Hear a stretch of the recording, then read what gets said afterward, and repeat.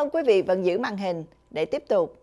Bích Phượng kính mời quý vị theo dõi nhận định và phân tích thời sự Việt Nam với Nam Anh.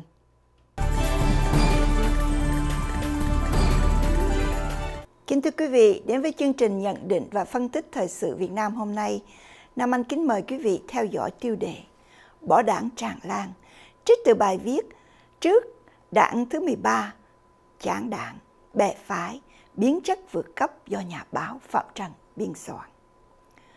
Bên cạnh chứng ung thư kinh niên này là hiện tượng cán bộ, đảng viên, kể cả quân nhân nghỉ hưu đã tìm mọi cách bỏ sinh hoạt đảng vì họ đã chán đảng lắm rồi. Đại tá công an Nguyễn Đăng Quang tiết lộ số này ít nhất cũng chiếm 45% trong số những người nghỉ hưu và số còn lại cũng chỉ tiếp tục sinh hoạt để không bị trù dập hay hại đến sổ lương hưu. Dưới tiêu đề đảng viên bỏ sinh hoạt đảng và những hệ lụy đáng lo ngại, Đài Tiếng Nói Việt Nam VOV, Voice of Vietnam, viết ngày 31 tháng 10 năm 2017. Gần đây, dư luận trong đảng và nhân dân tại nhiều địa phương băn khoăn, thậm chí bất bình về hiện tượng một số đảng viên sau khi nghỉ hưu không tham gia sinh hoạt đảng ở địa bàn cư trú. Nhiều ý kiến cho rằng điều này đã ảnh hưởng trực tiếp đến hình ảnh người đảng viên cũng như uy tín của đảng và phần nào thể hiện sự suy thoái về chính trị, tư tưởng của một bộ phận đảng viên như nghị quyết TW4 khóa 12 đã chỉ rõ. Đáng lo ngại hơn là hiện tượng này ngày càng phổ biến tại nhiều nơi. Bài báo New Đích Danh Đảng bộ phường Nam Hồng, thị xã Hồng Lĩnh, tỉnh Hà Tĩnh hiện nay có 527 đảng viên, phần lớn là cán bộ nghỉ hưu. Nhiều đảng viên mặc dù tuổi cao, song vẫn tích cực tham gia sinh hoạt đảng và là nòng cốt trong các phong trào, hoạt động ở khối phố, khu dân cư. Thế nhưng, có đến 38 đảng viên mà đa số là cán bộ, công chức, viên chức, trong đó có cả đảng viên là bộ đội, sau khi nghỉ hưu lại không thực hiện thủ tục chuyển sinh hoạt đảng tại đảng bộ phường. VOV viết tiếp, ông Trần Quốc Toản, bí thư đảng ủy phường Nam Hồng cho rằng, thật đáng buồn khi có những đảng viên sau khi nghỉ hưu đang còn sung sức, hoàn cảnh gia đình không khó khăn, nhưng lại không nộp hồ sơ tham gia sinh hoạt đảng ở nơi cư trú. Những đảng viên này trong quá trình sinh hoạt đảng viên ở nơi cư trú cũng đã thiếu gương mẫu, nên khi về nghỉ hưu họ không nộp hồ sơ. Rồi họ viện nhiều lý do như phải đi làm kinh tế, trong khi thực tế thu thập thì cao, lương hưu 7, 8 tới 10 triệu. Có người bảo phải đi thăm con, đi trong giữ cháu. Thế rồi, dưới tiêu đề bỏ sinh hoạt đảng là biểu hiệu cụ thể, tự diễn biến, tự chuyển hóa. VOV cho biết, hiện nay tuy chưa có số liệu thống kê chính thức, nhưng đáng buồn là tình trạng đảng viên bỏ sinh hoạt đảng nhiều sau khi mà nghỉ hưu diễn ra khá phổ biến, không chỉ ở các địa phương mà ngay tại những đô thị lớn. Ông Nguyễn Anh Cường là Phó Bí thư quận ủy Đống Đa, thành phố Hà Nội cho biết, trên địa bàn quận, tuy số lượng đảng viên không sinh hoạt đảng sau khi nghỉ hưu không nhiều, nhưng đang có chiều hướng gia tăng. Từ năm 2014 đến tháng 6 năm 2017, có 16 đảng viên bị xóa tên. Trong đó có hai đảng viên bị xóa tên do bỏ sinh hoạt đảng vì không chuyển hồ sơ về nơi cư trú và tỷ lệ này đang tăng lên.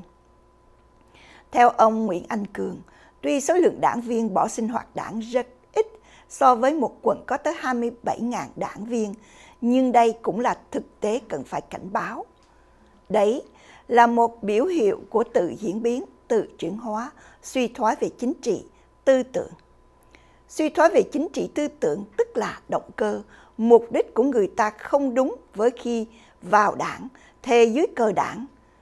Đang đương chức đi làm, người ta nghĩ rằng đảng viên thì có quyền lợi này, quyền lợi kia. Khi về hưu, người ta bảo chả phấn đấu chức quyền gì. Về có khi cũng chả muốn sinh hoạt nữa, đi sinh hoạt những chỗ khác. Hà muốn khác cao hơn lý tưởng thì người ta bỏ. Ông Cường nêu thực tế. Tính đến tháng Giêng 2019, Đảng bộ thành phố Hà Nội có 52 đảng bộ trực thuộc với 2.523 tổ chức cơ sở đảng. Tổng số đảng viên của toàn đảng bộ là 441.341 đồng chí, sinh hoạt tại 17.273 chi bộ. Theo ban tổ chức thành ủy, hiện nay chưa có kết quả khảo sát cụ thể về tình hình đảng viên bỏ sinh hoạt đảng trong đảng bộ. Nhưng qua theo dõi trong thời gian gần đây, tình trạng đảng viên bỏ sinh hoạt có chiều hướng gia tăng. Trong đó, số đảng viên bỏ sinh hoạt chưa bị xem xét, xử lý nhiều, nhưng mới chỉ nắm được số đảng viên bỏ sinh hoạt đã bị cấp ủy có thẩm quyền quyết định xóa tên trong danh sách đảng viên. Từ đầu nhiệm kỳ 2015 tới 2020 đến nay, các cấp ủy trực thuộc thành ủy đã xem xét quyết định xóa tên 1.141 đảng viên do bỏ sinh hoạt đảng. Trong đó, từ tháng 6 2015 đến tháng 12 năm 2015 là 125 đảng viên, năm 2016 là 195 đảng viên, năm 2017 là 339 đảng viên, năm 2018 là 396 đảng viên. Từ tháng Giêng 2019 đến tháng 3 2019 là 86 đảng viên. Đến phiên thành phố mang tên Hồ Chí Minh, thủ phủ ở trung Nam, thì có một báo cáo tiêu biểu đắc khoe rằng tính đến nay, quận tư đã có 38 đảng bộ, chi bộ cơ sở với 3.915 đảng viên. Tình hình quản lý đảng viên có nhiều chuyển biến tích cực. Việc chuyển sinh hoạt đảng, giải quyết miễn công tác và sinh hoạt đảng viên ngày càng đi vào nền nếp đúng quy định. Các ừ, cấp ủy khu phố đã phát huy vai trò của đảng viên, nêu cao tinh thần trách nhiệm, gương mẫu tham gia xây dựng địa phương bằng những việc làm thiết thực gắn với chăm lo đời sống nhân dân, tích cực đóng góp xây dựng đảng, chính quyền trong sạch vững mạnh. Quân ý cũng đã tổ chức nhiều cuộc giao ban chuyên đề, tập huấn nâng cao kỹ năng cho cấp ủy cơ sở, quản lý chặt chẽ tình hình diễn biến tư tưởng, góp phần ngăn chặn suy thoái tư tưởng chính trị, đạo đức, lối sống tự diễn biến, tự chuyển hóa trong cán bộ, đảng viên. Tuy nhiên, bài báo của thành ủy lại miếu máu khai rằng vẫn còn tình trạng nhiều đảng viên đã nghỉ hưu, cư trú một nơi, sinh hoạt chi bộ tại một nơi khác. Đảng viên vắng sinh hoạt chi bộ không có lý do hoặc lý do không chính đáng làm ảnh hưởng đến tỷ lệ đảng viên sinh hoạt chi bộ thấp dưới 80%. Một số đảng viên chuyển sinh hoạt đảng từ nơi làm việc về nơi cư trú sau khi nghỉ hưu, xa xúc ý chí phấn đấu, thiếu gương mẫu, bỏ sinh hoạt đảng nhiều lần. Một số cấp ủy chi bộ chưa thường xuyên cập nhật kịp thời thông tin quản lý đảng viên.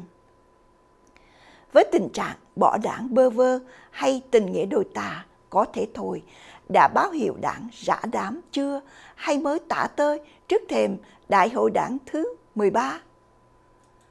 Lý do hỏi vậy vì chuyện chán đảng của những người nghỉ hưu ở Hà Nội và Sài Gòn chỉ là hạt cát trong vô số báo cáo của các tỉnh thành khác trong cả nước. Liệu ông Nguyễn Phú Trọng có dám chỉ thị cho ban bí thư làm tổng kết tình trạng này cho toàn dân biết không? Kính thưa quý vị, vừa rồi là bài nhận định và phân tích thời sự do nhà báo Phạm Trần biên soạn. Nam Anh cảm ơn quý vị đã theo dõi và rất cảm ơn nhà báo Phạm Trần.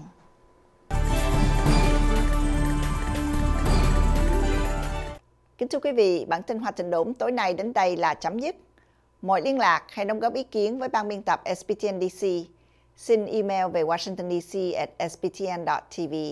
Bích Phượng kính chúc quý vị có một buổi tối an vui và hạnh phúc bên người thân và gia đình. Bích Phượng xin kính chào tạm biệt và hẹn gặp lại quý vị vào kỳ tới. Thư mời, nhân dịp lễ dỗ cha Francisco Trương Bửu Diệp, trân trọng kính mời quý ông bà, cô bác và toàn thể anh chị em đến tham dự lễ dỗ vào lúc 11 giờ ngày Chủ nhật 8 tháng 3 năm 2020 tại vườn trái cây La Vang, 9203 Stringfellow Road, San James City, Florida 33956. Sau lễ dỗ, xin kính mời quý vị dùng bữa cơm thân mật cùng với ban tổ chức.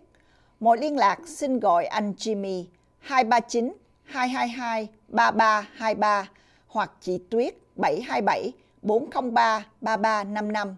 Xin chân thành cảm tạ và rất mong được đón tiếp quý vị. Ban tổ chức trân trọng kính mời.